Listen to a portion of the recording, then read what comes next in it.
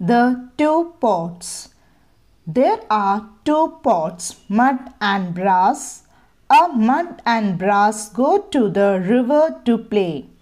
Brass said, I will swim in the river, but you cannot. Mud said, Why?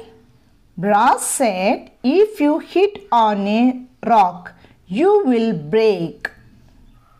Mud said, Let me try. Mud and Brass start to swim in the river. Brass said, Let us swim deeper. Mud said, No, let us go back to the river bank.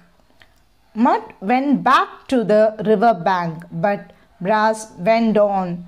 Soon the river was deep, and Brass was not able to swim. Help, help, said Brass. Mud used a stick from the river bank to help.